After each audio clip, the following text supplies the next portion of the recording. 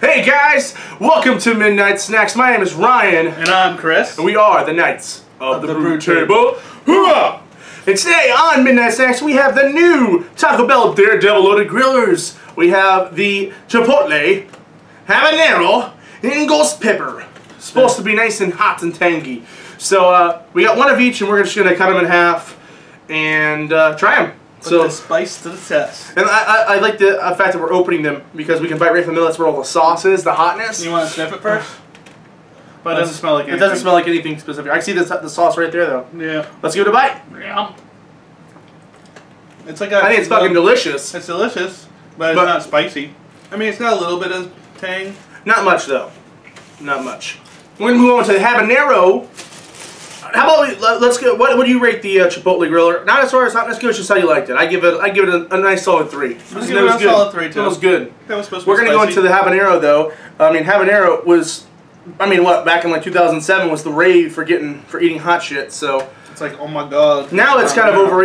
Now it's kind of like forgotten as far as heat goes. No. Hold on, let's, let's get some. This one smells a little bit more spicy. I would Get- say get it the- get actually the- smells less spicy. Get the get this get this sauce. Not doing nothing. I don't know. Let's give it a try. It's a little more spicy.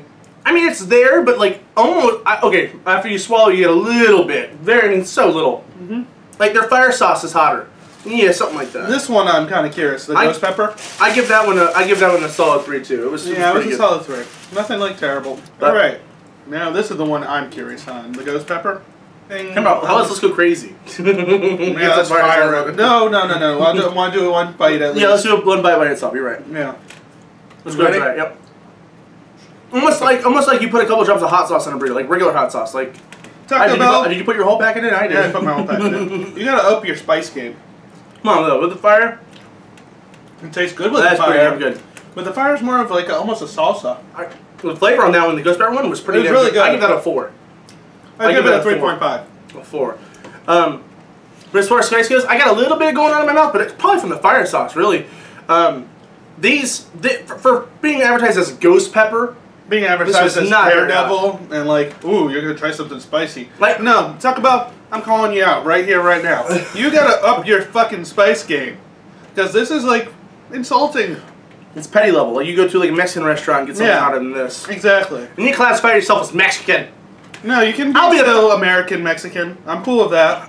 When I want like a Taco Bell, I want a Taco Bell. I don't want a Mexican meal. I want some Taco Bell. But you guys could be a little bit hotter and spicier. I agree. That Diablo sauce was like really spot on. I was That really was excited about that. They loaded that, loaded it. these up with a Diablo sauce, bunch of that. Yeah. shit. But this, eh. I mean, taste wise, I thought they're fucking awesome as always. I love you, Taco Bell. I love you, Taco you Bell, for your taste. Always give me the good stuff, but Spice. but advertising that that crazy hotness. Not much going on as far as hot goes. I mean, somebody might think it's hot who's like vulnerable to see. I mean, I'm not saying I can like eat a ghost pepper straight and not cry about it, but like I can withstand a little bit of heat. like, was that supposed to have real ghost pepper on it? I don't know. It doesn't say, but or but it, if it advertises as ghost pepper, it's kind of Yeah. so. But anyways, guys, thank you for watching this episode of Midknight Snacks. Uh, as always, this is Ryan. And this is Chris. You guys have a great day. Spice out. Spice the fuck out.